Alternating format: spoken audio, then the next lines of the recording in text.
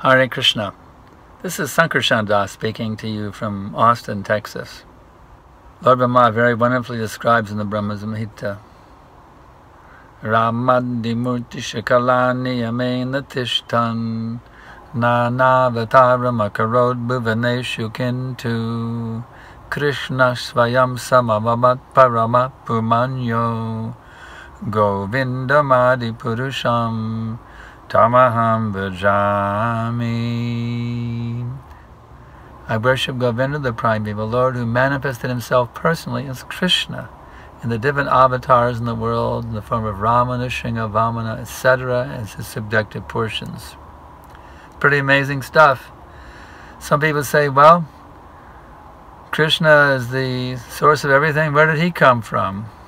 Well, you can tell them Krishna came from Govinda, because that's what the verse says. Govinda manifested himself as Krishna. So, well, who is Govinda? He is Krishna himself. So Krishna is actually self-manifested. That's the difference. There's only one person who's self-manifested, and that is Krishna. The rest of us all are manifested by Krishna. Of course, everybody is manifested by Krishna, even Krishna himself.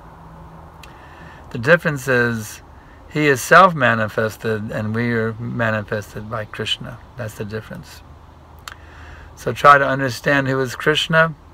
The more you understand him, the more you'll be amazed by his transcendental qualities and characteristics and activities and teachings, etc. Just go deeper and deeper into this ocean of Krishna consciousness and wow, you'll be relishing the sweetest nectar at every minute.